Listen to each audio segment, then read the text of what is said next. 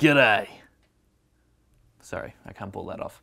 I'm Tom Ballard, and you got to join me this Australia Day for the most important Hottest 100 companion, the Proudest 100. I'm going to try and link every song that makes it into the countdown with some of the amazing work being achieved in our name by Australian Aid. So join me at proudest100.com or on hashtag proudest100.